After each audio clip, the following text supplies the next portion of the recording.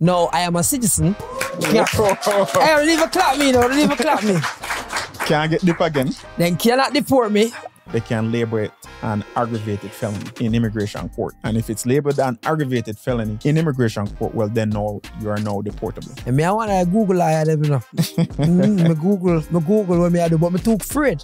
The Me Too movement cut both ways with immigration. You know, you have more men coming forward and say, hey, you know, sir, my wife, she did use out all of the money in the bank account and then kick me out. That's a form of psychological, emotional, and financial abuse, which may make you eligible to file a VAWA. This is Dale Elliott Jr., the problem child, inviting everyone to come out and attend my problem child Bad Pickney stand-up comedy tour. Now a lot of people don't know how to stand up, but you going know eventually. South Florida get the show, all of them love it. Brooklyn get the show, all of them love it. Now I have a lot more shows coming. Atlanta, Hartford, Poughkeepsie, New Jersey, Washington DC, Philadelphia, Baltimore, Orlando, Tampa. If you don't see a city, just go sign up at daleelliottjr.com. And if you want to purchase your ticket, just go to daleelliottjr.com. The seats are full up, the ticket them are sell out. So you see, if you want to be a part of greatness, make sure you come out. I'm out. Welcome to Dale Elliott TV. And I am here with Mr. Sekou Clarke. We are here in a very different capacity from the last time, you know? Very, very different. Well, a lot of different changes now. We are doing a podcast and we are doing it in a live setting in front Mm-hmm. of people. Yeah. You know, I always say I like the things different and we are trying to switch up certain things. And this time we are gonna do a panel where we have people who come and them visit, them have various questions them want to ask you, Mhm. because you are the liar. And me just there for, you know, add little comedic flavor to it and make it nice. So it's not like deady deady and boring. You know? Exactly. No police now come here. You know, Yeah. ICE not near right Right. or so. No. Yeah, them, Yeah. them now no jurisdiction Sure. in a New York, you know? so, what's new for Mr. Sekou Clarke since the last conversation with me and you have? Well, since the last conversation, the Sekou Clarke Law Group were up and running in New York um, on 161st Street, Jamaica, New York, and we're getting ready to launch in South Florida in November. Okay. Yeah. Thank you. You know, the, the whole the whole purpose of certain things is for expanding us. So like for me, um, I am now doing stand-up comedy. Mhm. You know, actually I have a tour right now where me name myself The Bad Pickney. Yeah. and it's been a go on. And something very important happened since the last time we meet you. Tell them. We had a conversation in May. Now I am a citizen. Yeah. hey, don't even clap me, no, don't even clap me. Can't get dip again. Then cannot deport me unless me commit something where crazy. Yeah. But me and a criminal. Me might be bad pickney, but me and a criminal. But it just for people look upon it like a accomplishment. Mhm. You can tell say we as immigrants are people who come here from other countries really have to fight for reach right Mhm. yeah, so. Exactly. Now, for my situation, it's kind of different because my father filed for me. Mhm. So me never have to go through, you know, me never have to find a fatty. you know what I mean? You know what I mean? Me never did have to do. Cause me see people go through some things when them they up here and me know so you as a lawyer, you say various different different cases. And me remember when me did present my case to you, I mm. say, yo, yeah man, a easy thing. This is a simple thing. Just Yeah. you never even pay my case no mind. You know, send it to send this, this like we have to delegate this to the to the staff. Cause my case, you know, you Yeah. deal with it fast, me actually get through in a three months. Three months. Get them sitting. So Thank you, Leslie. big up Leslie anyway there. so I, I Leslie did my paperwork. Leslie, yeah, man. Yeah, cause whoever Leslie is, me used to get when me like, when me can come in, when me learn from Sekou Law Group, is the follow-ups. And me Yeah. learning a business follow-up is very important. So mm-hmm.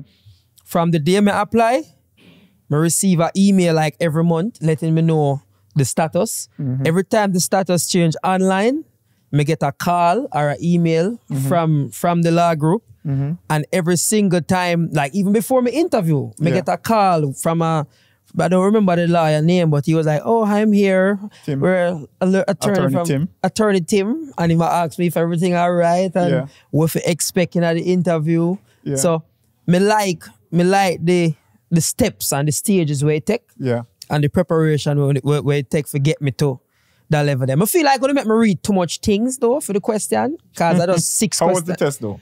Joke thing. Yeah. All right, when we say joke thing, the the citizenship test itself, them ask me, them them say me have to get six out of ten questions right, Mm-hmm.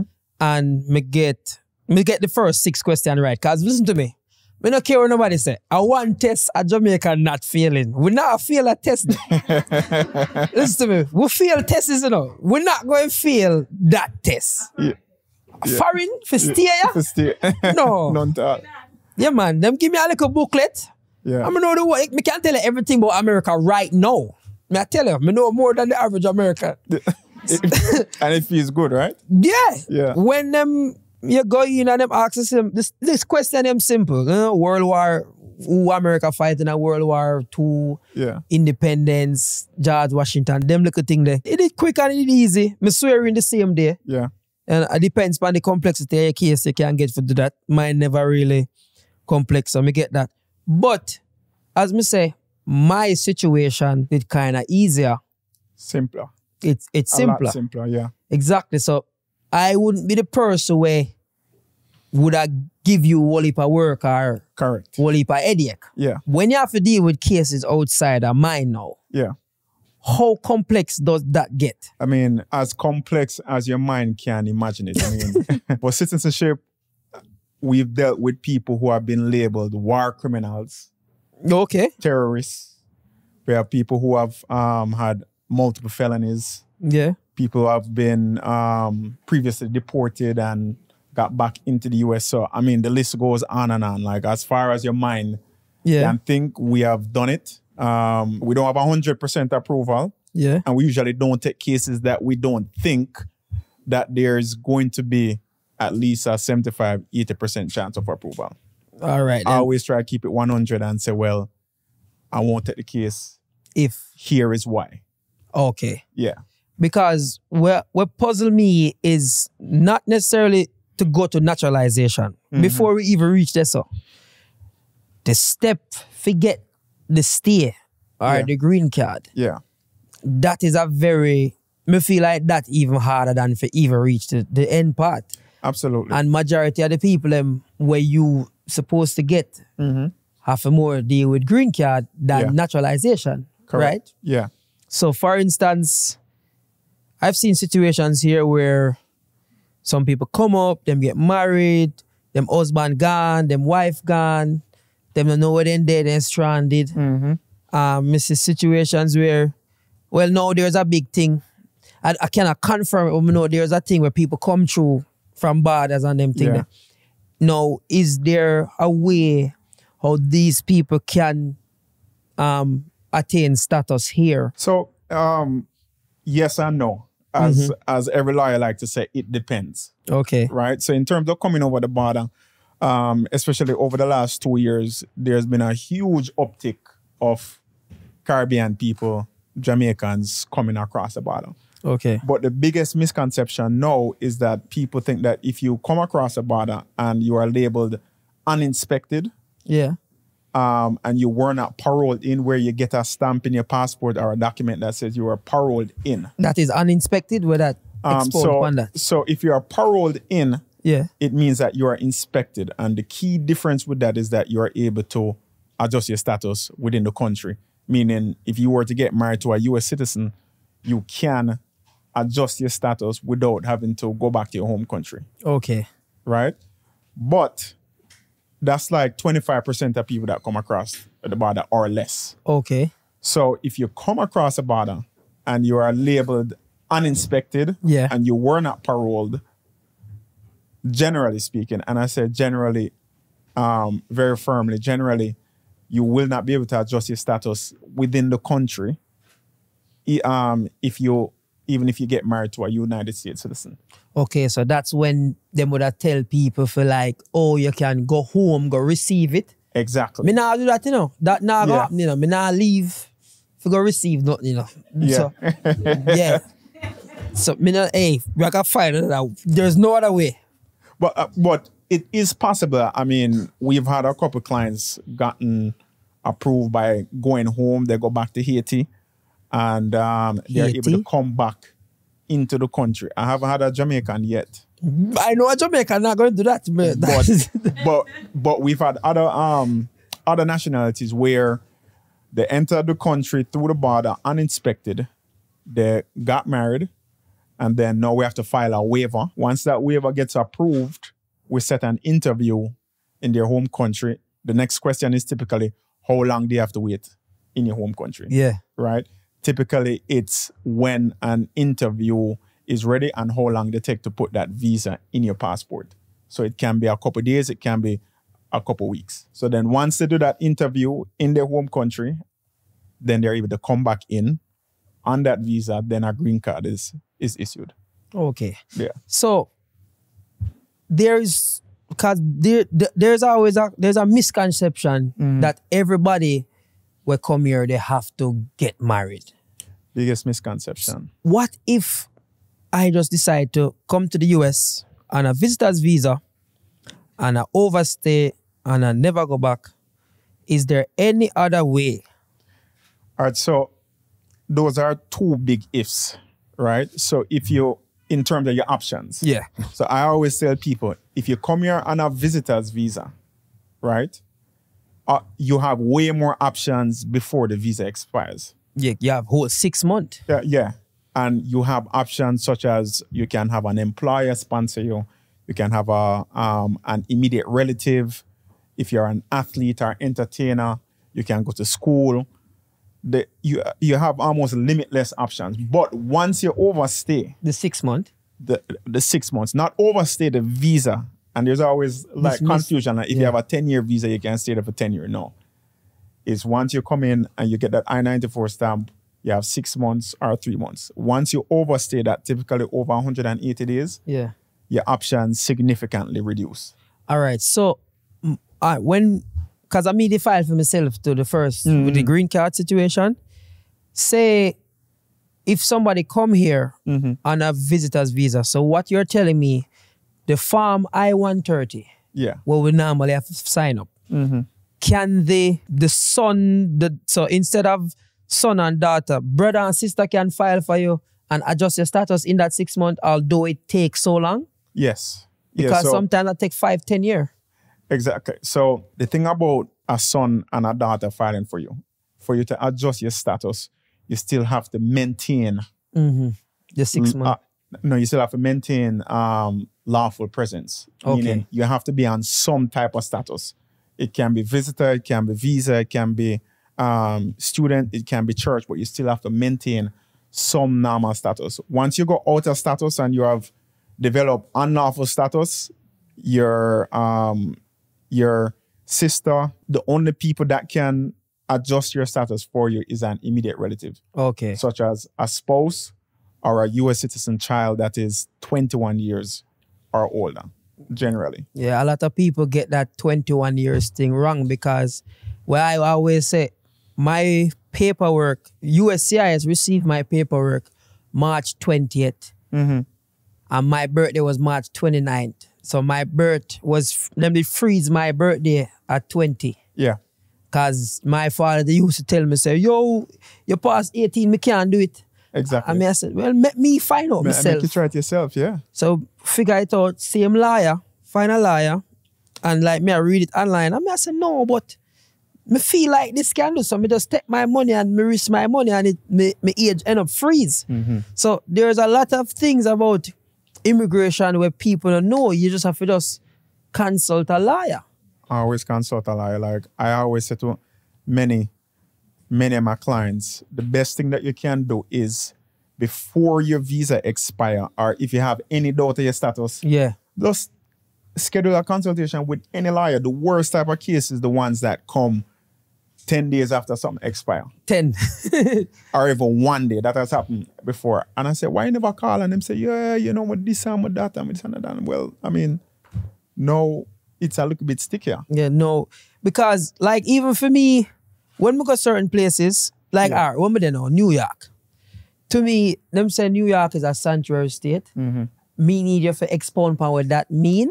But I feel like this like status thing, Mm-hmm. I think is a lot of people will come here and because this is one of the states where it is uh it is known that it's more lapse. Like Yeah. kind of there's no the urgency. immigrant friendly. yeah, immigrant friendly. Yeah. So the urgency for for do that, not there so like how it would have there Florida with DeSantis them. Exactly. And then um I think a lot of the the main issue that a lot of immigrants fall into when they come to the US is that they enter the country and then they're around either like a lot of Jamaicans or Haitians, people like them. So it put them into um this complacent mindset. Like, Yeah. oh, you know, yeah, we can get a job, we can make some money, we can send back some money, go home. some kind of good right now until it come time for you to try to leave the country or it come time for you to um, avoid ice or actually make major progressive moves in your life, such as purchase property Yeah. or um, bring up a family member. That's when it start get real. And by the time it start get real, you have overstayed for Yeah, two, three, four years. Because one of to me, one of the wickedest things. Mm. Can you imagine? Well, for me, I would want the writers so right now and Yeah. an emergency take place to a loved one at Jamaica. I mean, I bond that up. Why? I mean, can't even like Mm-hmm. go there for help. I feel like it would have mess with me mentally. Yeah. I feel like it would have mash up my it would have mash up my meds mentally. So that are one of the things them where when me day or me anytime I find a bridge or anything, I always like make them know say, yo, I feel like we need for you need to get that out of the way first. But I personally think it's easier for a man do it than a woman, Mm. especially with the between the, the situation them. So it's Yeah. like when me see it happen, like when me see a girl in a different situation from a man, Yeah. I said, John, oh, because most of the time a man hold the access to that. I mean, I've seen it on both sides, 50-50, to be honest. Oh, I've mm. seen it on on both sides. You know, the the women get more offers, mm-hmm. you know, and them have sometimes more options than the men, but then the men have to put up with more foolishness. me know that. yeah, me know. yeah. Yeah. me know the man have to put up with more things than the woman. Yeah. But boy, America is just a, a place here, man. It's like it put you in a it put you in a piece of situation where it's like you, like you do it. Oh, oh, oh, go. You do me if you do, or you do me if you don't. Yeah, yeah, yeah. Uh, uh, and you know, I always tell people, America is what you make it. And um, especially as a Jamaican, I always tell other Jamaicans or Caribbean people, if you can make it out of Jamaica, you can make it out of, make it anywhere. Yeah, you were supposed to be easy. Yeah, because honestly, if if me if if me never drive a Jamaica, me crash ten million times since me there in New York. Exactly. Just man Manhattan alone, the driving over here so crazy. You want it But normal. this is a melting pot of people. What me like with over here, everybody at work, everybody at uh, everybody have a goal over here. So everybody a move up and down. So I can see the speed of that city here. People would even remember certain things. They would just there, live, a live, a live, and you're quit yeah. 10 year gone. Yeah. yeah, Yes. exactly. Yeah. I'd even figure out where I do it yourself. and and honestly, um, most of the cases that I've gotten where people have been in the US for 15 plus years without any type of papers, they typically come from New York. yeah. Yeah, because again, it's more favorable. Like it's a sanctuary state. So sanctuary state, especially in immigration terms, means that it's more immigration friendly. You can get a driver's license and identification um, typically without any issue uh, and not be documented. Whereas in some other states, like Florida, um, you have to be documented in order to get a driver's license or some form of ID. So a lot of what took a lot of what is taking place right now with the law with change of Florida. Have you seen situations where no people come up here, or have you seen a rise in in like applications or people are now a be proactive? Because for me, I feel like the elections are gonna be next year, mm-hmm. and who to like will will New York be a sanctuary state forever? Like me feel like things change so much. Yeah, yeah, yeah. You put yourself in a situation right now where you not cross your eye and that you tease them, you're gonna end up in a some problem. Yeah. Um, I don't know. I think I think with New York, New York has more of a richer history of of immigrants from all ethnicities, Yeah. from white, black, Asian, brown.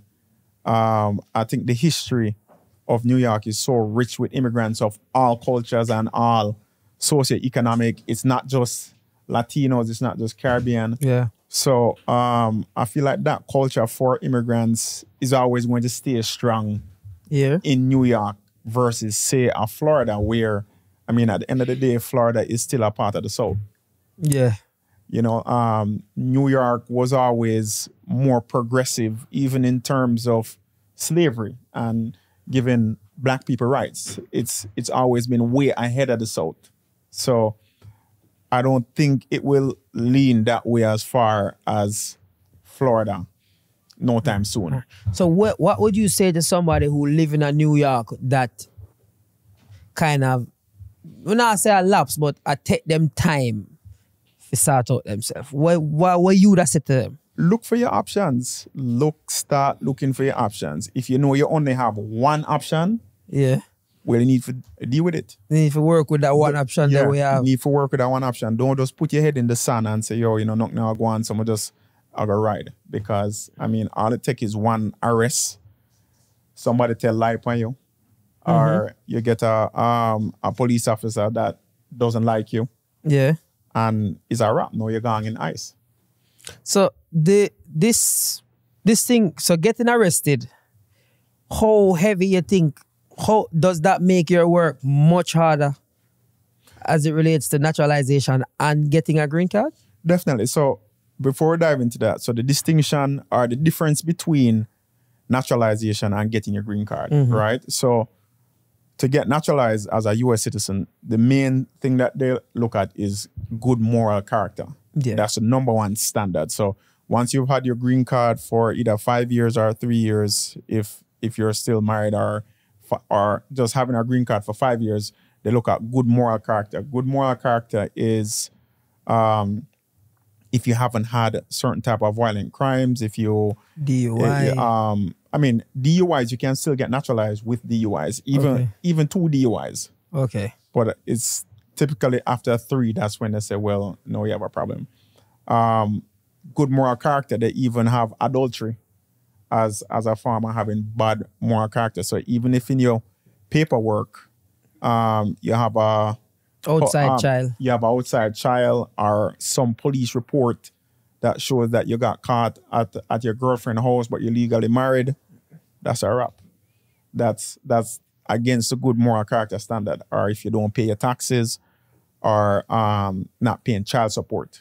The tax is very important. I tax. feel like that's the only thing the man asks me about. Yeah, Man, I say, yo, you pay your tax them? yeah, And show me a coward. Me, I say, yeah, man, sir, me have to pay for them, right? So, yeah. so me, me know that that's something where them really look out for. So, even getting the green card, Yeah. what about people that have been arrested before? Because here, say you live here and you, you get arrested before and them thing that Yeah. won't that affect the Yeah. process of becoming a green card So, holder? so there are there are like a couple things that they look at. So if you get arrested for a crime within your first five years of entering the country, that makes you now deportable. Right? So sometimes they catch it and sometimes they don't. Really? That's Yeah. how it go? Yeah. So if you so if you get uh if you're charged with a crime involving moral turpitude, Like a felon, felony that? like a felony or something above like a misdemeanor, Okay. right? Within your first five years uh, entering the country, that makes you deportable. And the only way to get that removed is in immigration court, right? And that will create issues for you in getting your green card, right? Okay. Um, so I've had cases before where somebody had an arrest, like say for instance, even leaving the scene of an of a of a car accident, Yeah. and that person is within the first five years of entering the country, they never got um formally arrested. They didn't do any time, and then they go and apply for their green card. That officer can look at it and be like, "You're not eligible for your green card because you got this arrest of this type of felony within your first five years," and that can un- and that can only be removed by a waiver or by an immigration judge. Oh, so that says a next setback again. Yeah, so that's a next setback. So, um, say you got arrested for a crime six, seven years after you enter the country. Yeah. They're going to look at it as what type of crime? Is it a misdemeanor or is it a crime involving violence, like burglary or some form of battery with a weapon? Well, then they can label it an aggravated felony in immigration court. And if it's labeled an aggravated felony in immigration court, well, then no, you are now deportable. Or if you have two of those arrests, you are now deportable. So those are things that can really jam you up with your green card situation. Like I've had cases even with domestic violence, which is a common one. I think that is common. That is very, very, very, very common. Um, if you got convicted like twice, then you're going to have problems.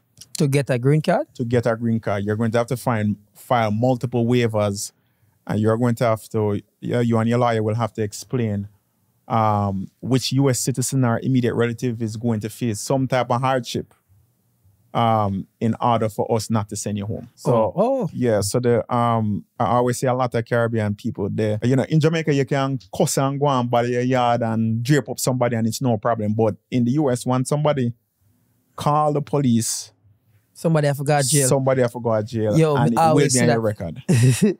and it will cause problems when you file. because situations where me see is people always are partners. Partners always have issues, and is always apparently when you get the first green card, you get supposed to be conditional Mm-hmm. for last for two years. Yeah.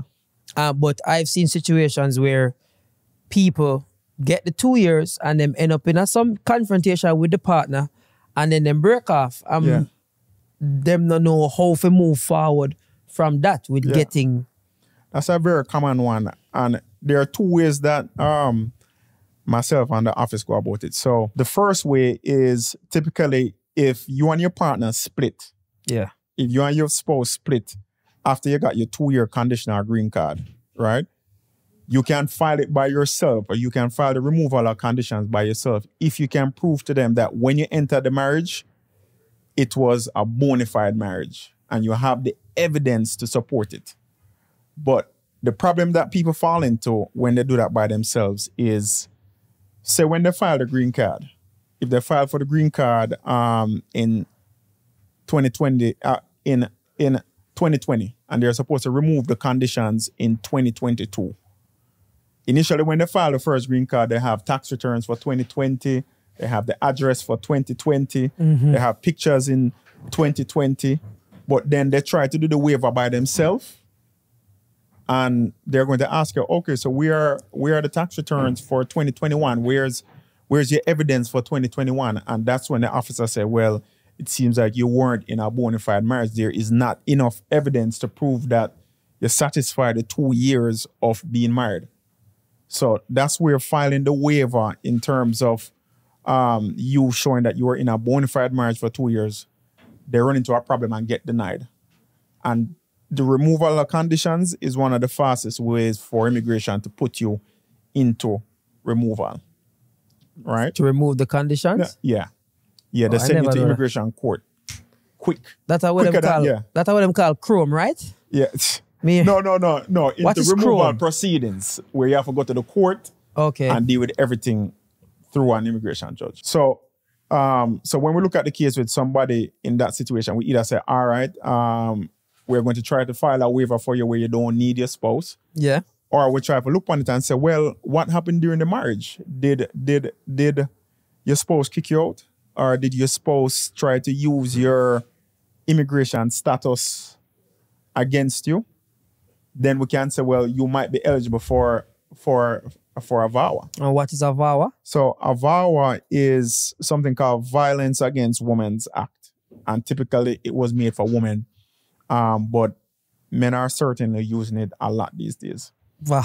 right? Because because Mama. because because I tell people the the Me Too movement cut both ways with immigration. So um, you know, you have more men coming forward and say, hey, you know, say my wife, she did use out all of the money in the bank account and then kick me out. That's a that's a form of psychological, emotional, and financial abuse, which may make you eligible to file a VAWA. So with the VAWA, you can file a petition based on the fact that one, you were married to a US citizen, at some point you resided together, and you suffered some form of abuse, such as psychological, um, emotional, financial abuse, and you're able to file a petition by yourself without needing the spouse at all. Okay. So the the only caution with that is um, if you divorce, you have up until two years in which you can file a vow. yeah, makes sense. Yeah. So, say for instance, me now, well, not me, but you have people where don't file them taxes Yeah. and them live here three, four year and no tax return. Mm-hmm. Is that something you can help them with? If them come and want naturalize or if them want fix them condition but them not file them taxes, is that when it out of your hands?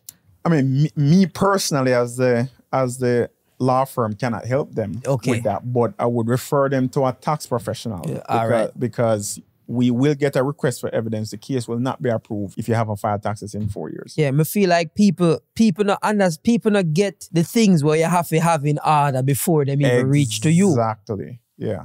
But, The- but but and and I mean that's fine because at the end of the day, what we like to do is we like to guide. Yeah. You know, I'd actually prefer a client like that than a client who come to me and think they know more than me. Yeah. Those are the type of clients who say, hey, you know, someone sip on Google, someone have to send this in. I'm say, really well, file it yourself then. And see and see it work out. And, and see it work out. and see it work out. And I always tell people that 30 to 40% of our clients are people who got denied when them tried by themselves. Mm-mm. So, so those are the people who lawyers make a lot of money off of.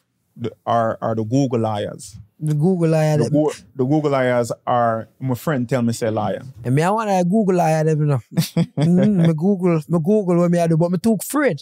Yeah, So me always try to go find somebody to validate what me I say. yeah, When me know go school feet and learn. yeah, Cause remember one time I explained to me, there have been cases, people, where people have green card, go apply for citizenship, and citizenship right back I say, hey, you know, say, you get that green card there, this look fishy, carry your green card come and put in a removal proceedings. mm-hmm. And you did tell me said that is something where you see happen on multiple occasions with Yeah. people where oh them get them green card. yeah, exactly. And, and like I've had cases where the person come to me to file their naturalization. They come to me to file their citizenship, right? And when we go through the file, I recommend to them that hey, do not file your citizenship because if you file this citizenship, they're going to go through your green card application and your whole history and see that something here wasn't right, and then going to take back the green card. And I've seen people, I mean, come to me and look uh, after that has happened. And that is perfectly legal. So so if when they get it, you know, all the way through the gate. Exactly. Exactly. So so like if if if you find out that um if when we're going to the file, there's a discrepancy between um even when you file for your B1, B2 visa. That's the what's that? That's your tourist visa when you just enter the country. So say so say you enter the country on a tourist visa. And on the tourist visa, in. on the tourist visa, you said that you had one child and you've only been married once. Then you come here, live life, got a green card. Um, and then on the green card application, you said you've only been married or um, one time in your life and you have three children. They're going to look and say, well, there was a misrepresentation. The files don't add up. And you have lied to a USCIS officer and now it creates a big problem w- that may expose you to either losing a green card, not being eligible for citizenship, and a whole host of other problems. All right, so basically them you lie it harder for you. So- Yes, if you if you tell lie, it, it's significantly harder. I always tell people, no matter how hard the truth seem, just be upfront with it, especially to your liar. Yeah, man. I So don't understand. make you "But lie." Yeah. make you go lie. I really lie, but yeah. but Make the liar lie. no We make the liar know how to match it out properly. Wait, remember they say your work, you know. You know what I'm saying? Liar, liar. But hey, make say it again, mama. Liars there to tell a lie, you know. Liars. Yeah, Me like that one do the Do the maths. Yeah, the liar, the liar, the representation we need. Mm-hmm. Because in boy, the situations them what me I say over here with people, a lot of time is complacency. A lo- most of the time is complacency and fear.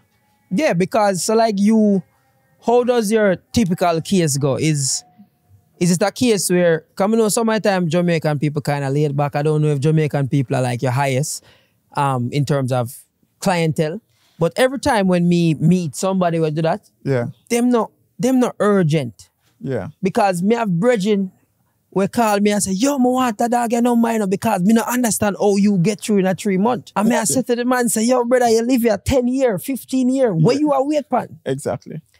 So me I, me I wonder if that feel like you know where somebody that come to you and you that tell them a price, you know, Jamaican people love ball. Mm-hmm. And them say, yeah, man, we are gonna put this off.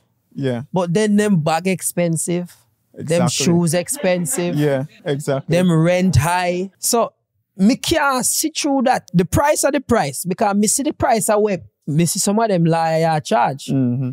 And me not, me not, me not understand why the urgency not there there. Forget that part you out of the way if you tell yourself say ah, yes so you gonna live and a yes so you gonna take care of all Yeah. your family. Mm-hmm. Again, the complacency and the fear. Like a lot of people, they probably know deep down what the answer may be, but they just fear hearing the reality. They the fear that they only have one option or no options, so them just leave it alone. And that even may be a misconception because them hearsay, hearsay, hearsay, hearsay. Yeah, it's Yeah. a lot of hearsay. it's a it's a lot of hearsay and and sometimes it's frustrating for for attorneys like when um you know the law and you're advising a client and them say no man I'm gonna think so because my friend they tell me say and she have the same situation and them get through. So why me can't get through? The common the common one with that um I remember I posted that video on TikTok and oh my god, them flame me up there, them burn me out, them burn me out and say, I lie me and tell me no know what me I talk about, which is if a green card holder, mar- um, if if if an immigrant that's out of status, if you're here out of status and you marry a green card holder, you can adjust your status right away while the person is a green card holder. That is true. The, the law says no. you can't do that. If you're out of status, no. That, Hearsay that- trick me. Yeah. Me hear that that. green card holder has to be a US citizen if you're going to adjust your status in the US. And people on TikTok say, especially Jamaican, them say, lie, I tell you, you don't know where you are. Go back. I mean, say, go back to law school. Go back to law school. go back to law school. I mean, I tell you this is them a say that in our mattress, on the ground, just a mm-hmm. typing on their phone, mm-hmm. not doing nothing, or out of Yeah. the corner, sit down with them friend, yeah. and just a chat a bunch of foolishness. Yep. And what I realize as well about most people, most people to them friends, to them close, close friends, and even family, they lie about them exact immigration situation and the facts. Me notice that. that go on with it. I mean, I've done consultations where you have husband and wife, or even mother and daughter. We're doing a consultation, them give me the facts, and one person step out and them look at them say, All right, here one. You see, this are go on, but don't make them know what go on. Exactly. You know? So don't listen. People always listen to other people and say, yo, man, of of course you can't file the paper, so because this person said them do it so and them get through and we know. I said, did you did you see the paperwork when them file it? No. That is a big misconception because even when, even the little time when they are foreign, I live a foreign five year now. And the the amount of people where I did think, mm. all right, like status wise and everything, we did think that. Mm-hmm. And when me make everybody know something naturalized the other day, mm-hmm. That are when so much people rise up out of the ashes. I say, yo, me I say, you never have the papers, you never have the papers, me never know say you never have the papers. So so me never understand like why why hide because some of the time them are the same people that me I go road with Mm-hmm. and Clean. and them clean and them drive the nicest. Me I wonder me I say so police never pull you yet like Yeah. where Yeah. you know have a pass where where you have a- over here but at that you live in our state. Yeah. where you can get away with them thing there. Mm-hmm. So I just the the comfort. And next thing, when me did I go ask you, cause somebody tell me for ask you. So me I keep up all of the question when people tell me for ask you. Cause I have people when me know when never come here because they say they don't want nobody know them business. You know, Jamaican people Number say, one Jamaican line. Them afraid. People know my business. Imagine, imagine we get an opportunity for sit down and say with a liar and ask question. yeah. You're not paying no money. Ice not come through the door No. and you're afraid because you don't want nobody know your business. Yeah. Mm-hmm. That don't make no sense. Blessing and curse of a Jamaican. Uh, boy. but say me come here on a visitor's visa Yeah. and made the five months in. Can I extend it another six months? Yes. Yes, you do have the ability to file a visa extension. Okay. Right? Um, But you have to do it before the six month you have to do it before the six months. You have to do it before the six months. And you're going to have to prove the reason why you're staying and that you have financial support um, for the amount of time that you're staying. And another way that I tell people is that if you had some type of medical condition, if you if you had to see the doctor, that's a, typically a good reason that you can extend your stay as well. And meeting an accident and Them type of thing that yeah. oh, and and and that is something where somebody could have come to you and you help them deal with, right? Exactly. So give me a broad, like uh, uh, all of the immigration things them where you deal with because you do. Me know you, you wear many hats. Yes. So you have yeah you deal with crime too, like like Criminal, yeah. you deal with criminal lockup and them thing there. Yes. Yeah. And we have a um so I so I do it and we also have an attorney in the firm that does exclusively criminal cases. But um one thing when I started an immigration firm, one thing that was very important to me is that we were able to handle everything immigration Yeah. every single thing in immigration. So if it's family based, if it's deportation in um and you have to go to court, Yeah. we handle that. If it's if you have a business moving from the Caribbean or moving from anywhere into the world um into the US, we're able to handle that. If you're a pastor or have some type of religious um affiliation, we are able to handle that. If you're an athlete, if you're a Musician. musician, if you're an entertainer, we're able to handle everything immigration and we speak within the office um, four languages. Okay, so you tell me, so, so if me want artist and me there I live here, hear me on the papers, me can come link you and say, "Rrr." Well, again, we go back to the overseas. Oh, yeah, so now that gone, yeah, yeah, yeah. Okay. So it's better, it's better you link with early before you get to that point. I mean, I remember one time uh, an athlete came to me, and this is an athlete that is a medalist on the world stage. yeah, and they're here out of status for like two years. I'm gonna say, yo, why you never um file for a sports visa and then get your green card as an athlete? And them said they never know. and it just takes. You just have to just go Yeah. ask. You just have to just ask.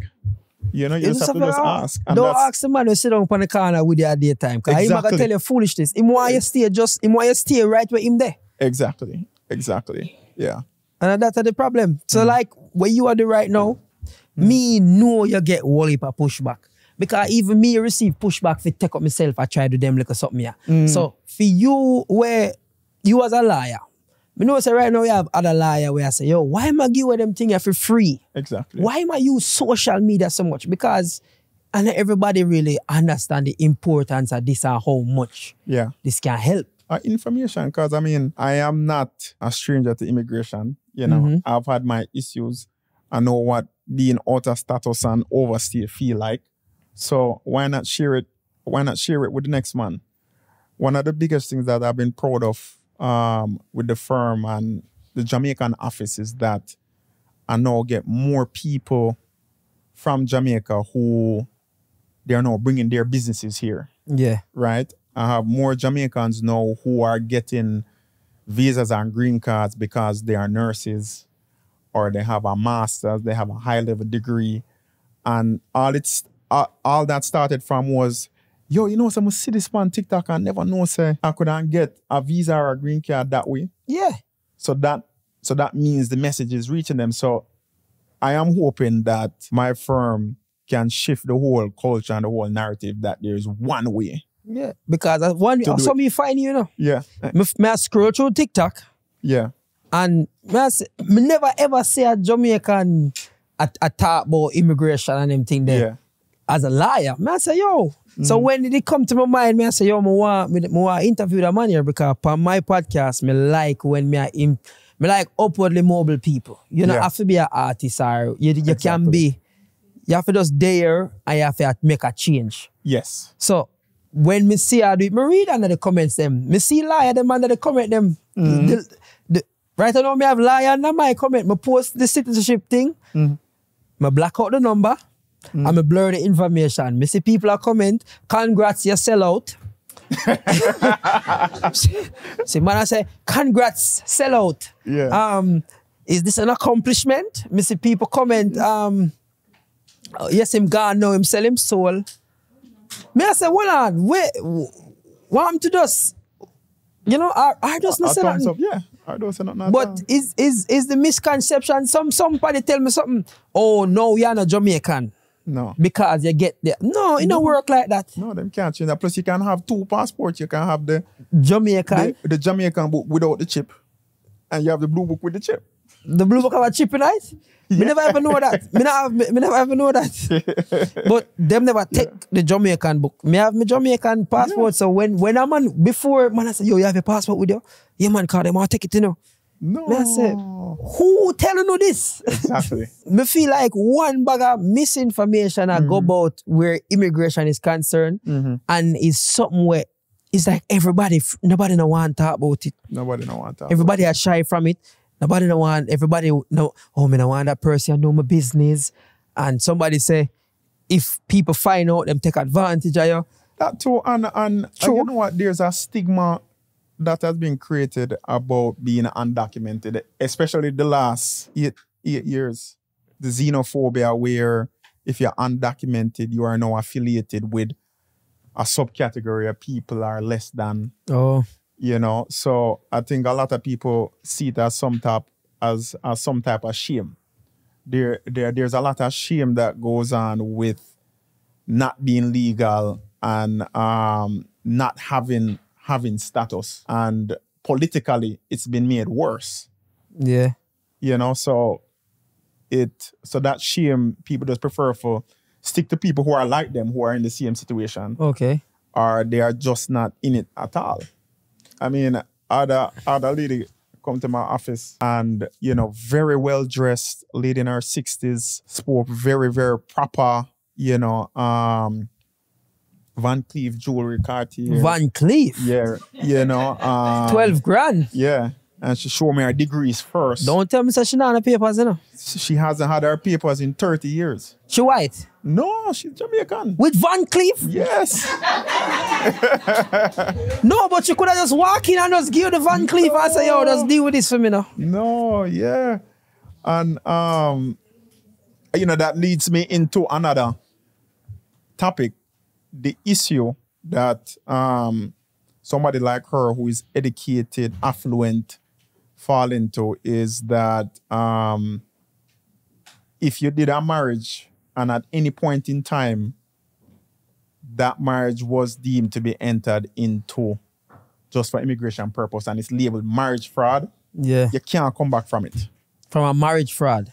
So if you get labeled, if you get a denial, and that officer said that this marriage was entered into fraudulently, and there is evidence uh, of you exchanging money for the marriage, um, or or bribing, or you lie and then find out that you never lived together and you just enter the marriage just for the green card and they label that marriage fraud. Even if your next marriage Real. You could have real four, happy. you You could have, have four five kids, everything great. You will not get a green card from that. So that is one of the biggest pit, pitfalls I see with people is that first marriage, you know, either them never file it properly or them never prepare properly, and it's now labeled as a fraudulent marriage. You cannot. it- it's it's rare, extremely rare to come back from. That and if you tell lie that you're a U.S. citizen and you vote, those two things. How- How you vote when you're a citizen? People do it. I, I don't know how. I don't know how they do it. And we have plenty of those cases. How you vote?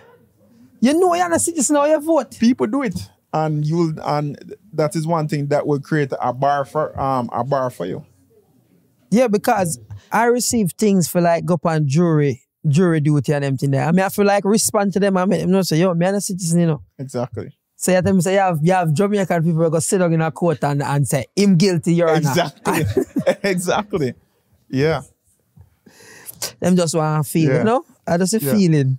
But but again, you know, like as I said, there's a big stigma with being undocumented, and there's a lot of shame, and and I think it's, I think of of anybody who's gone through the process, and they are now on the other side and now a green card holder or a citizen. I think it is almost like your your duty to to Make somebody else know, make it make easier. somebody else know, say, hey, um, this is all my situation is. Go, or if you don't want to tell them your business, just say, hey, here's a good liar.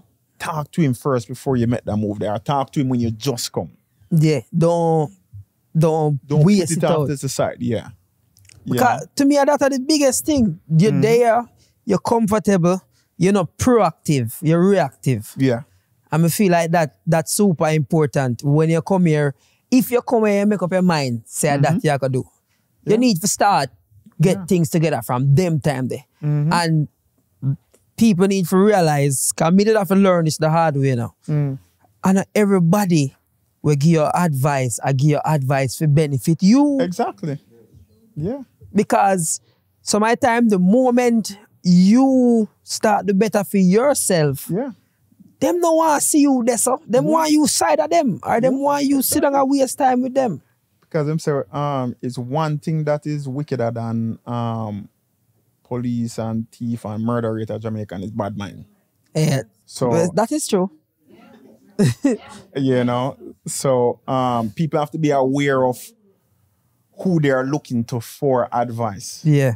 You know they have to be aware of who they are looking to for advice just go to the professional da- and done P- pay the 100 or the 200 dollar you know And that- it and done and get yourself the peace of mind and start out the something right yo when me see man waste money pan a foreign me as a person where want deal with my thing yeah a New York this. If you drive a car in New York, you pay about three times for park somewhere. So you're gone about sixty dollars already. Mhm. Just for park. If you go out and you drink or you smoke, if you wherever you smoke, a pack of cigarette, whether you smoke weed, whatever you do, the amount when the bill they rack up, me can't see how it possible say yo, me now go get that part you out of the way 1st mm-hmm. why me now go prioritize this?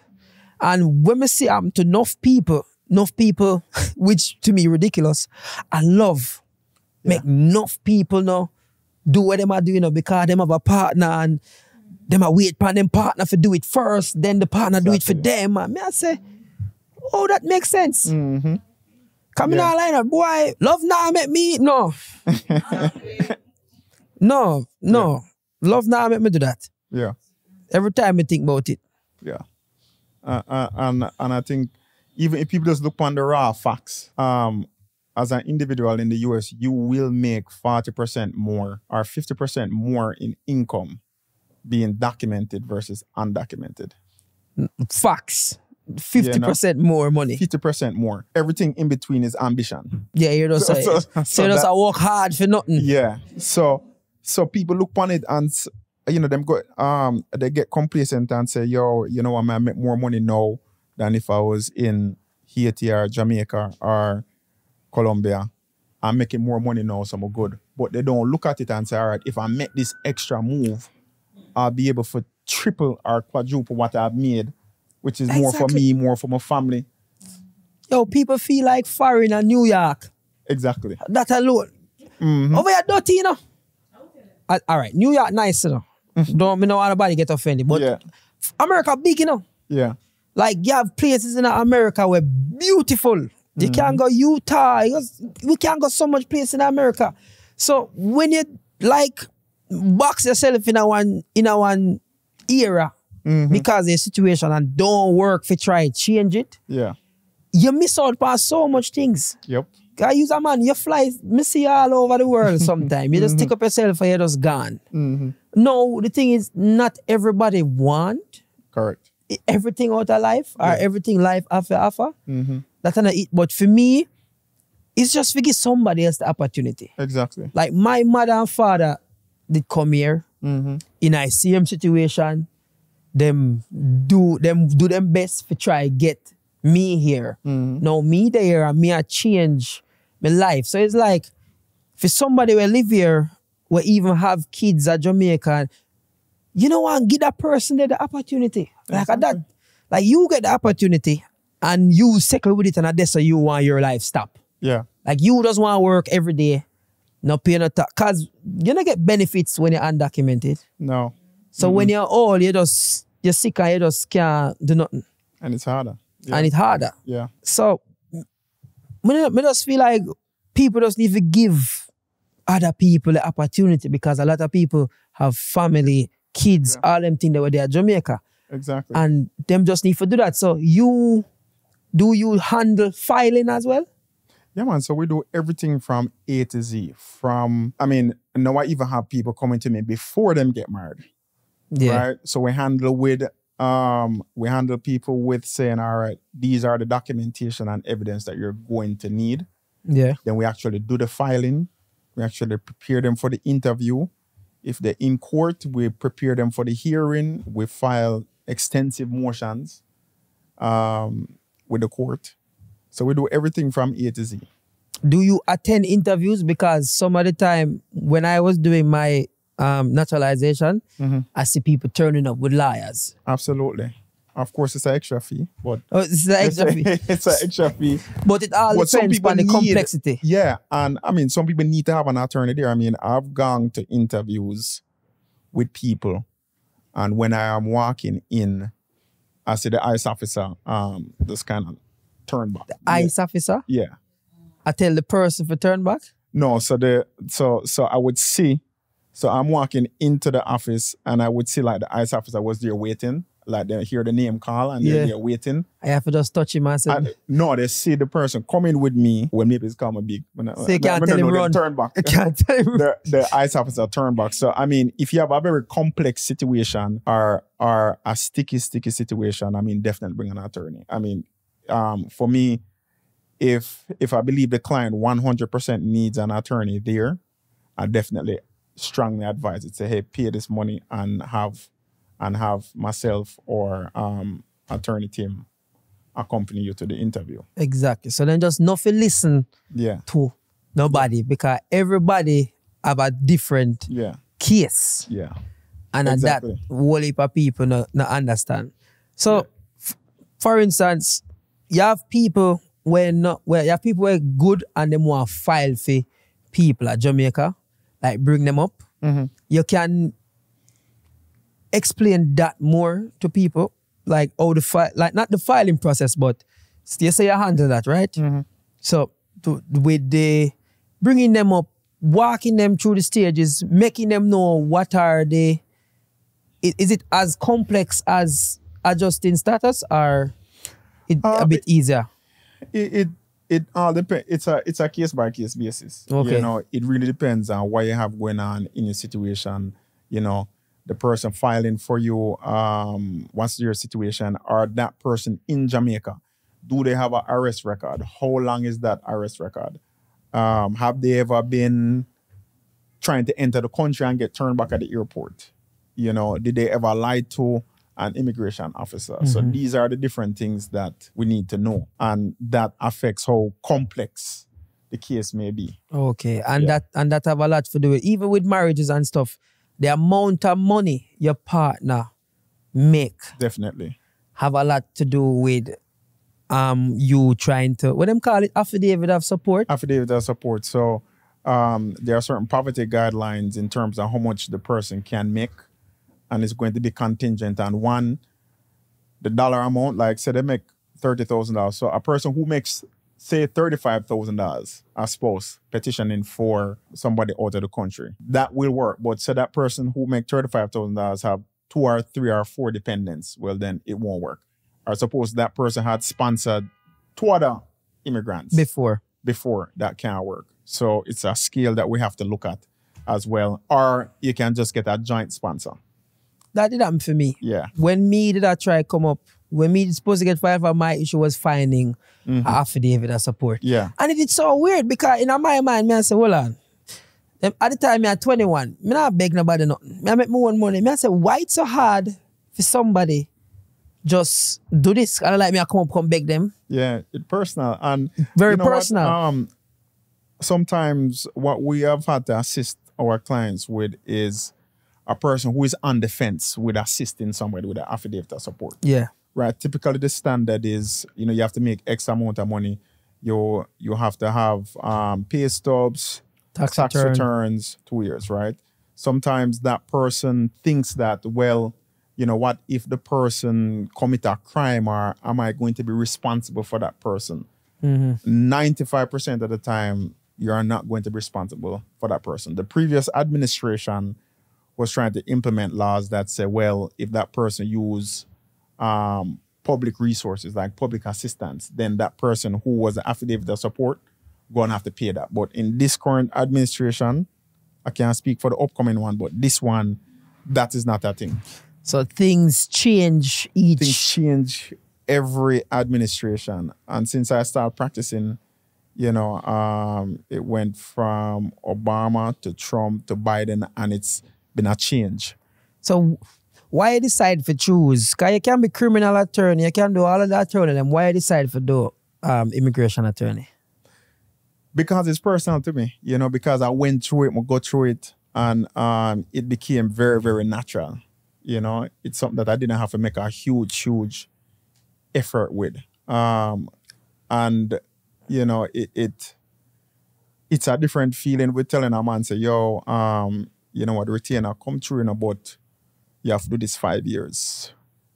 So that's a different type of feeling and conversation for me than saying to somebody, hey, you know, you just got approved, or you know what, you might have a go on for for a little bit, but we'll be able Oh, to just you back. understand. Just Ah, you understand. you Wait, catch it. It's, You just catch so, it. wait, yo, my G, my boss the case in but you have to do seven year Yeah. and then you come a road. No, yeah, true, true. Yeah, true. exactly, exactly. you know, so so it's a different type of feeling, and and I mean, I still do criminal cases, and a couple criminal cases has um scarred me, you know, because sometimes it's morally, you know, um deal with rape and then type of thing. Then it, it's a it's a different type of more moral feeling. Oh, you have to have a, you have, your moral character for different. Yeah, So with Yeah. this, you kind of, and Yeah. then are your people, you know? Exactly. Exactly. And being through that situation, like for me, it's different when I can look at somebody and know exactly what they have gone through, exactly what they I know if you can help them or not. Exactly. Because I can feel what I'm feeling. But on the other side, boss, I can't feel what you're feeling. But, Hey, but we can, no, not all, we're not going to do that. No. That's what we're not going to do. Exactly.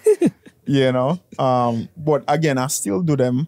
Um, but immigration fee is very natural. Yeah. Very, very natural.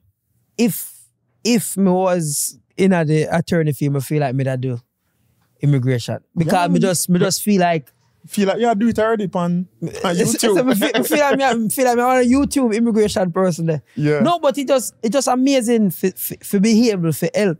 Mm-hmm. Because everybody know me as a 30 second, one minute Instagram person. Mm-hmm. For, for be able to help and reach people in a different way, for being seen in a different light. Mm-hmm. Me enjoy that. Me enjoy if you can teach somebody something. Exactly. And then because me no want nobody tell me say me a liar. Better them say you a liar because Exactly. they're right beside of me. Yeah. You know them way there? Yeah. So me enjoy it. The people them, me know I have some questions to ask. And me don't know if you don't want a break for go, but me want to ask the question them. Anybody you ready? And nobody go on like on the shine. It's free. And then one thing I will say uh, um, to people, if it's not about making money, um, the sleep that you sleep is way different when you're undocumented, the sleep completely different when you're a green card holder versus when you're a US citizen is a complete different type of piece. Yo, me not lie. When me walk out of that place there, or when me get this Wednesday, Yeah. I can't could have leave me down and me just get up and walk off. Because me, me week good.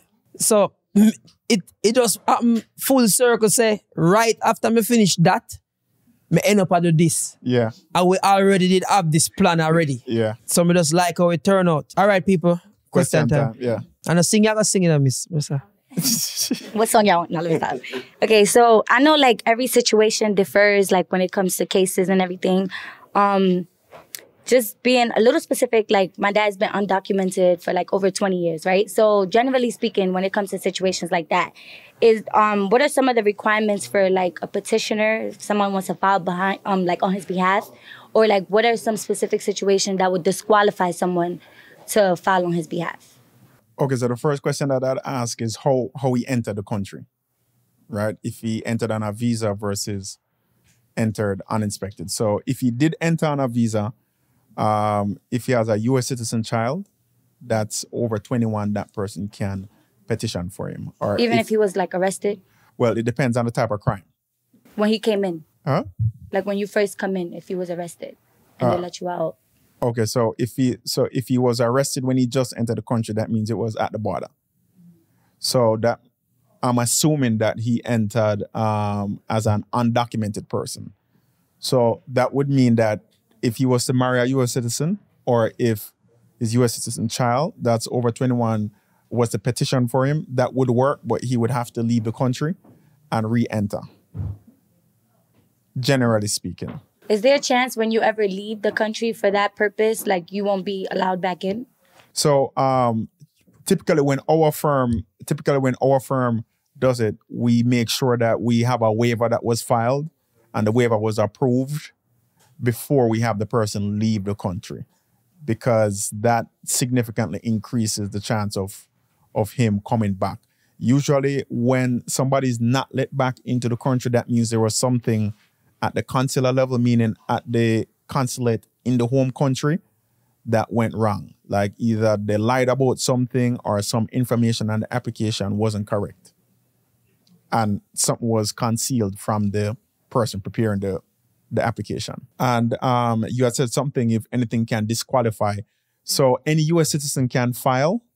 The only thing that can, um, so even if that person went to prison or went to um, or committed violent crimes, that person can still file for someone. The only thing that can prevent a US citizen from filing and petitioning for somebody is if they committed a crime against a child.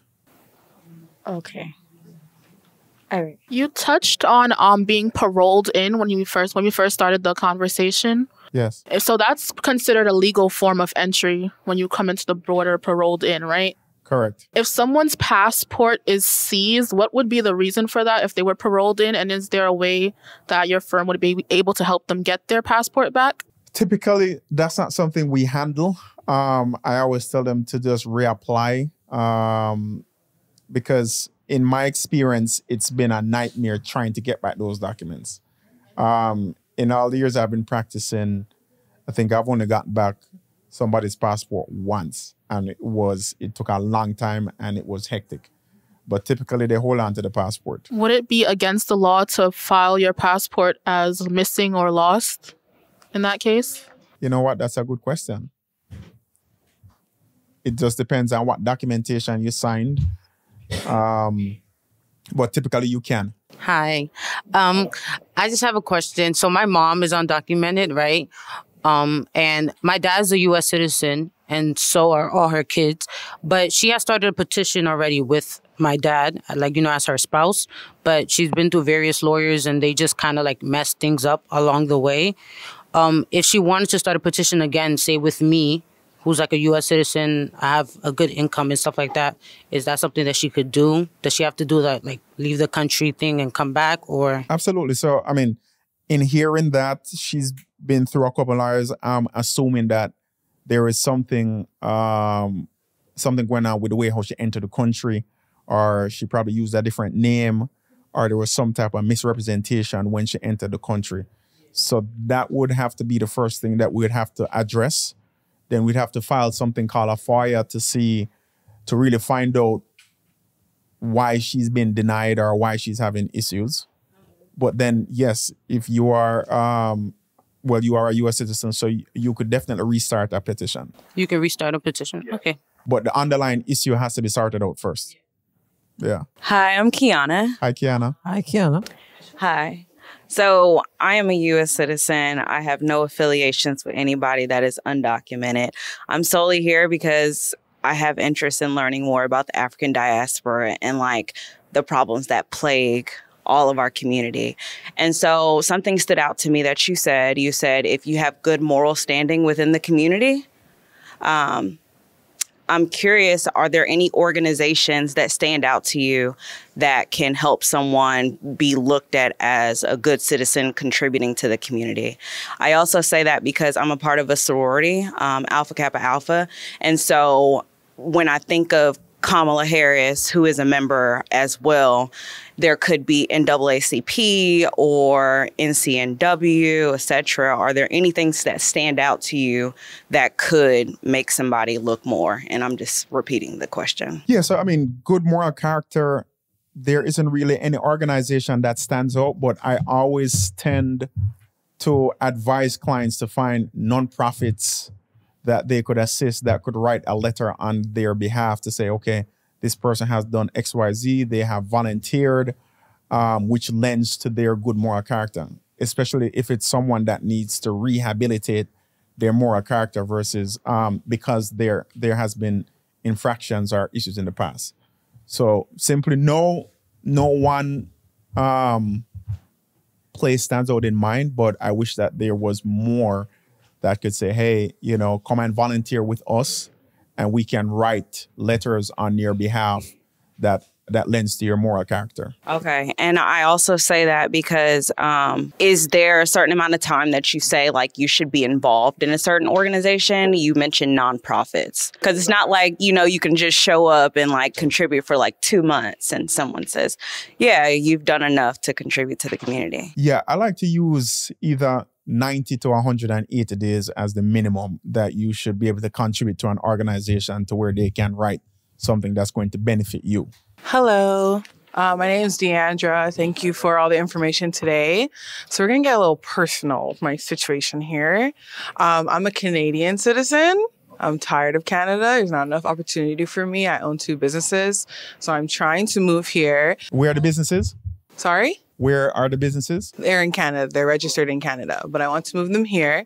And then also, um, I want to get my dual citizenship in Jamaica. Both of my parents are Jamaican. So I'm wondering, can I go about the process of all those things at the same time? Or do I have to pursue one at a time? And which one would you recommend me pursuing first? Absolutely. So the Jamaican one is easy. You can just buy it. Just kidding. Buy that. buy that. Can buy that. The Jamaica. They- They want to take your passport and mail it, and I can't really do something like that right now. Being here, it's not wise. So you know, it's a little tricky. So like I know an agency that I can give you the contact after that that will do that for you. Okay. Yeah. Um, as it relates to you becoming a US resident.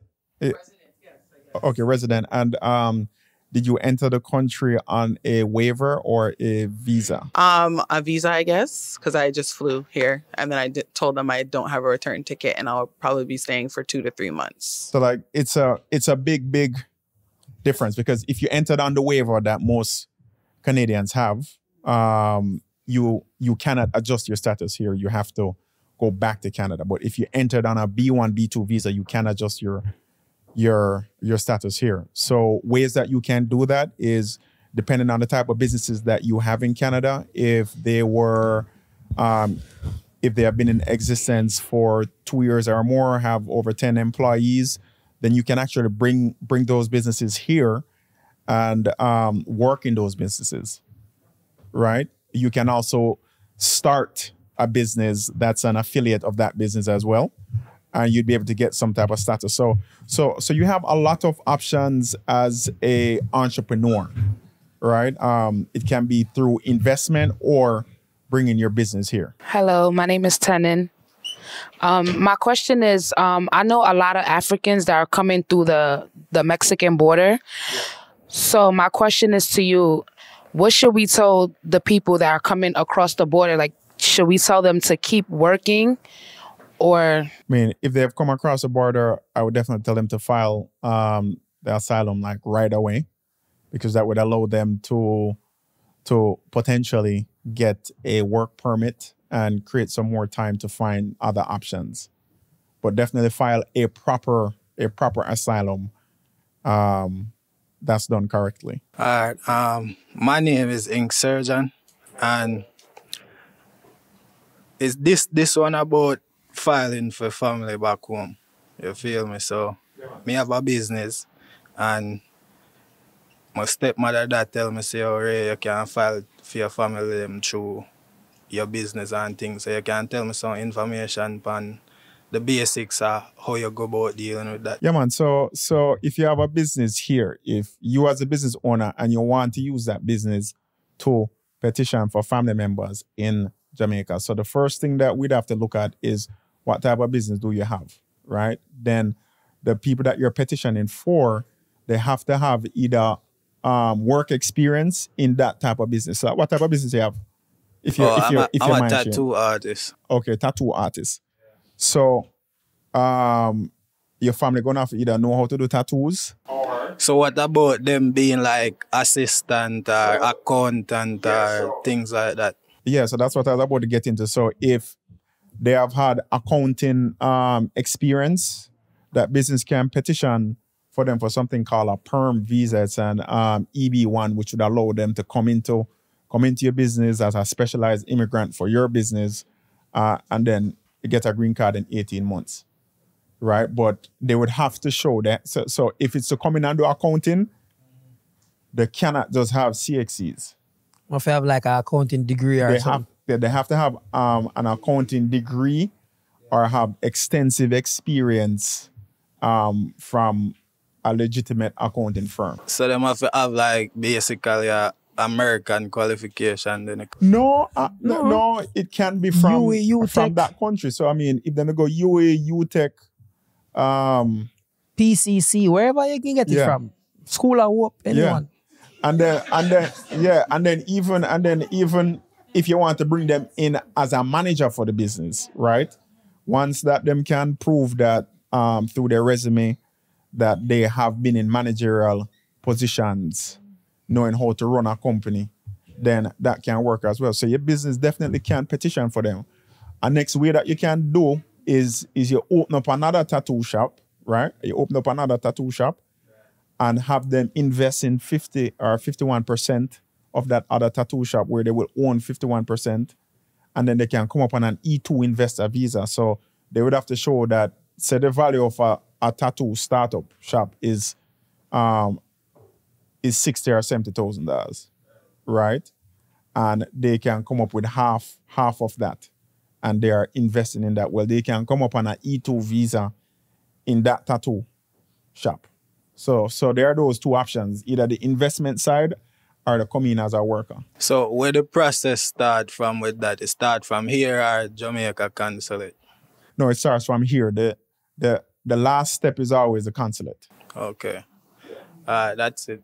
Some I somehow just sit down with the question them and don't ask them, you know. Yeah. At them three year front. You see them three year? You know nothing to ask. All right. I only first I go run to the liar when we're done. Here's my situation. Um, I'm a graphic des- freelance graphic designer. I've been doing it for five years. Um, my wife is a green card holder.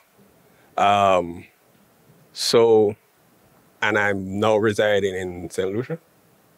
So I want to come up here. Um, what will be my options for that? So, so you're not residing in the U.S. No, I reside in St. Lucia. In where? St. Lucia. St. Lucia. So she can petition for you, right? So it will start out by her as a green card holder fi- filing an I-130 for you, right? You will then get um, a priority date. Once that priority date becomes current, then she's able to to to file through that consulate to get a visa for you. Or if you're staying in the US um, you can either find a different status to go on, such as um, an employment-based visa where a company petitions for you, or say you started a business, um, a graphic design business as an E2, and then by that time she become a My work is on online. Most of my clients are online. So yeah man, you can still start a business that run online. Online my business then. because I already have a ITIN number for that specific person purpose. Okay, so you'd have to get the business incorporated here in the US, and um, you would have to do an E2 based on the limited facts that you tell me. You'd have to do an E2 where we would look at what's the typical startup cost for a graphic design business. Then you'd have to show that you invested that amount of money in it, and you'd be able to get an E2 visa. It's not a green card, but what that would allow you to do is that would allow you to stay here um, until that visa becomes current, and then and then you can adjust your status here, or your wife become a U.S. citizen and um, you can uh, adjust here. Will that make everything else easier if she just become a citizen? Yes. Oh, um, could I, while do, while that is happening, could I be traveling back and forth? So the only risk that you run with with going back and forth is that if you get an immigration officer that's having a bad day, they see your travel history, and they can cancel your visa and say, "Hey, you're coming here to work." So just pick the right line. Yeah. And when you are coming, you're good. And the right airport. Right airport. Avoid Miami and JFK. And JFK. So avoid Miami and JFK. And morning flights.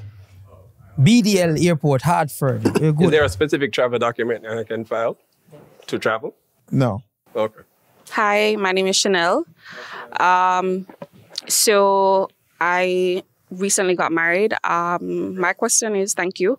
My question is having a a child. I have a child here. She's a citizen.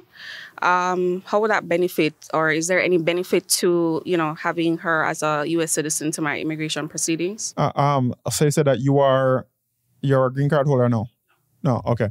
So um, the only time it's a potential benefit is if you're in removal proceedings, but there will not be an immediate benefit until that child is 21. Sorry, I didn't properly introduce myself the first time. My name's Nyasia. Um, I'm kind of in a very ghetto situation with. Well, welcome to the podcast. No, don't worry yourself, miss. What are we? What are we ghetto? what are we ghetto? You know, swear there. so, um, when I turned 21, I petitioned for my mother, who's from Belize. I'm now engaged to a Belizean citizen who's trying to become a U.S. citizen here, and she's not happy about that. So, and his family's not happy about it either. That you are petitioning for him? Yes. So basically, he's in the U.S. Both our families are just meddling and just not happy about the whole process. You are spending money? Sorry? You spending the money, right? Uh, no comment. Um, um, so is there, if he gets in any sort of trouble here, does that negatively affect my mom's case in any way? Because I had to, you know, do the affidavit of support for her. And then eventually when we get married, I will have to do affidavit of support for him as well. Um, what can I give basically the family as reassurance? And these are two separate cases entirely. They won't get intertwined in any at any point, right? Okay. So so you okay, so you're a US citizen and you are and you are in the process of petitioning for your mother? I did already, and I'm So is she a, so she's already a green card holder? Okay, so so she's already a green card holder. And then you want to now petition for your soon to be husband. yes. Um so if he gets into trouble, if it will affect the process, no. No, the the the, the only thing that you'd have to look at is if you are going to be the affidavit of support, is if your income will be able to support your mother and support him. Okay. I didn't think that was one thing I didn't think about because I feel like it's been so many years already since I petitioned for her, but she's not a she's not naturalized yet. She's still just a green card holder. Yes, you're still on the hook. Got it. I'm so responsible for. even though she's now um working and earning an income for herself and do so filing her taxes and everything like that. Yeah, I mean, they'll. Again, it depends on the officer that gets your file, but typically, um, they really won't take it into consideration. But I always advise just do it the proper way, and um, just assume that they're going to count her as one of your dependents. Okay. Okay. Thank you. Um, I have a brother who is in Jamaica. Um, so he had a visa. He was traveling back and forth for a couple summers, maybe like two, three summers, and then on his probably third um, visit, he they stopped him. I think they searched him and they canceled his visa, I believe. Um, so I was just wondering how could he put himself put himself in a better situation to get here. Okay, so um, that's something that we didn't address Okay. during the talk, which has been like huge now in our office. More and more visitors' visas are getting canceled. I mean, people from Canada, people from Australia, people, uh, I mean, especially Jamaicans, the visas are getting canceled. Once you are extensively traveling to the US, um, they're now examining that more. If you are, say, for instance, you come here, you stay four months, then you go back for two months, then you come and you stay five months. They're starting to look deeper into that and say, well, um, obviously you don't have ties to your home country if you're here in the US almost more than you're at your home country, right? And they're going to assume that you're here working. And that opens up the that opens up a window for them to look into the phone, look through your text messages, and once they see anything even remotely close to that you are working, that visa is canceled.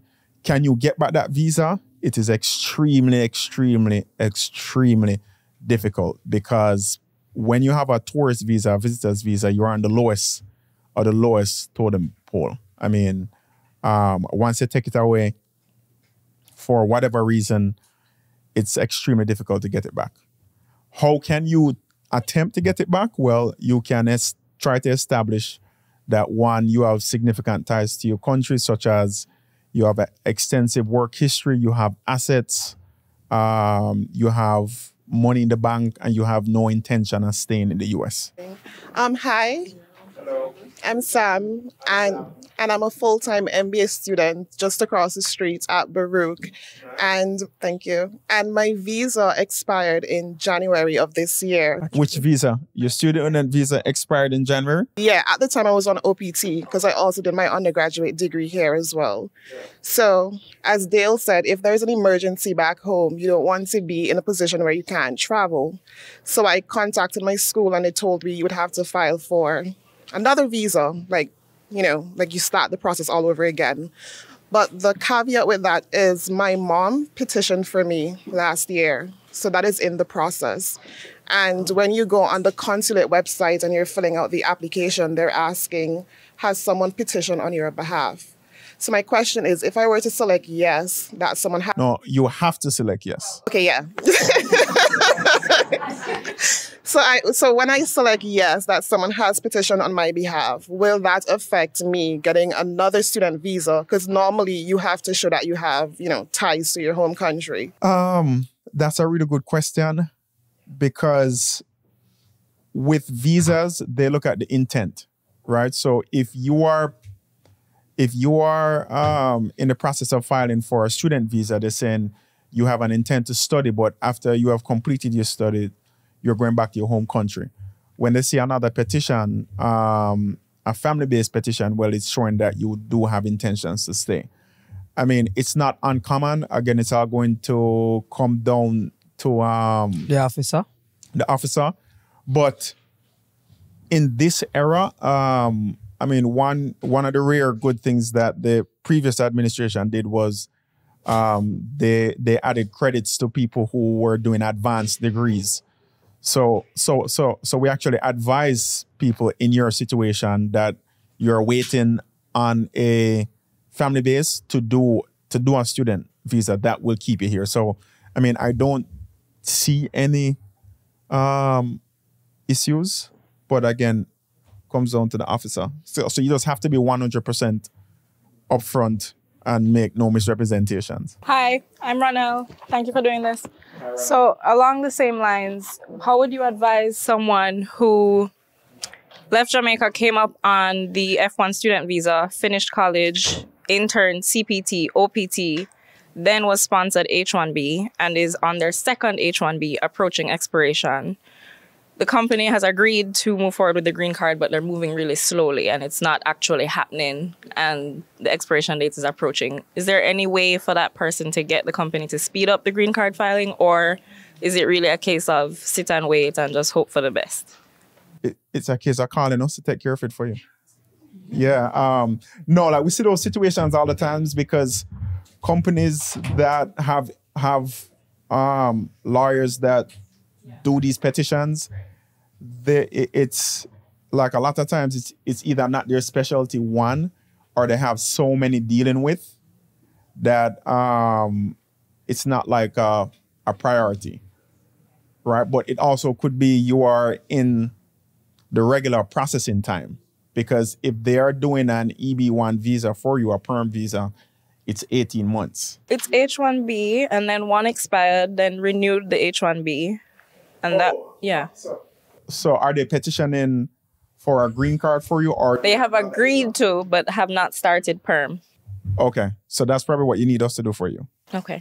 The H1B is going to be contingent on um, if they applied and if they had any visa left and they're waiting for the next period that opens up for to to apply for another H1B. Well, they did that. We're on the second one, and that's it after six years, right? Oh, okay. You're on the second. Okay, got it. So so they have to file the perm. So they have to file the perm. I haven't. So do you like? Can I press them? Is it time to press and say it needs to be done now, or just? Yeah. Can she do it herself without their help? Um, I mean, yeah, through us. Yes. So basically, basically, don't wait for nobody here. Exactly. Don't wait because because I've seen many people in your situations because if it's a company lawyer handling just employees, a lot of times it falls through the cracks and as the people go out of status and there really isn't isn't any um any retribution for the person, you know? So so be very vigilant. Okay, so I don't think this mic is working. My name is Renee Kendall. Thank you guys both for uh, this informative panel. Um, you mentioned that that your firm handles deportation and removal hearings. I wonder if you could speak to um, whether there is a path, if someone has been deported, whether there is a path for them to return to the US after they have been deported from the United States in certain circumstances. Absolutely. In in um, I mean there's always a path, but will it be approved? The ones I see don't get approved um, 90% of the times is if the person got deported for a crime that involved um, trafficking or a violent crime that involves a weapon. So typically, there isn't really a, a, a comeback, legal comeback from that. Um, if it was a crime that involved marijuana, there's a good chance because marijuana has evolved and the way how they treat that. Um, and if it was like a misdemeanor and that person just had poor representation, there's definitely a way to come back with a waiver. You know, we've done it before. If a child is petitioning or a spouse is petitioning, once there's a solid waiver where we can prove that that U.S. citizen is going through some type of hardship and their life is going to be better with that person here in the U.S., then that gives us grounds for them to come back. The way how we do it, we file the um, I-130 first, then we have to file a strong waiver. Once that gets approved, then we can bring the person back. Thank you. All right. All right, people. So when we realize so we are the things different. You know, we have a whole we have a whole like panel. People get to ask them questions. People get whole heap of things off of them chest, you know. Yeah. Me proud of myself for being able to do this. Yes. As a citizen. As As a citizen now. As a citizen. yeah. And everybody we're here, I go eventually get to write your so which part me there. Yes. Because whoever leave yours up today, I'm sure say somebody come here with some information in their brain Mhm. and realize say a madness. Say a lie people that I tell. Mhm. Somebody come here and somebody learn something. Hopefully. Why if me can't help you, you know? If you don't learn, me don't know one more one more we don't want, what more urgency people need. Yeah. But this are just we are try get people for understand. Say, yo, help is there. You can find the help, Mm-hmm. and you might not find it from the person where I give the joke here and there. But some of the time, that person will find a way to help you, Mm-hmm. and you there. Everybody have the access to you. Them always a see you on TikTok and on Instagram. Yes. And we have the opportunity for the righteous right now. So the time we have left after the podcast, me need know fi, when you can bombard him with questions. Me don't know nothing about immigration. Don't ask me. Him we tell a lie them few. No, me can't do that. And we have the team as well. We have attorney Tim Charlemagne, the, the Haitian sensation, speaks French and Creole. And we have um, the five star paralegal from Cali, Colombia, and Miami, Leslie Estrada. So, so there are more hands. Yes. So all the, all of the questions, all of the concerns, everything we will never get out, and you can ask them. Um, as it relates to me, um, me I do stand-up comedy. Um, me I come back at New York in a different manner, you know, more joking, you know, me I, me I free up, me I loose up a Free up a little more. bit, yeah. Um, so me I do a stand-up comedy tour. Um, want to check it out. It, it name Bad Pickney, Problem Child, you know, me's a trouble, troublemaker. Long time me I get trouble. No, me I make money off of the trouble me I give. Mhm. So that kind of good. But people, me love the people that will come out. We get a nice little turnout. Yeah. We're glad me teach somebody something. Mhm. And today the voice was real and the reason was raw. I big up on yourself for out. That's so. Nice.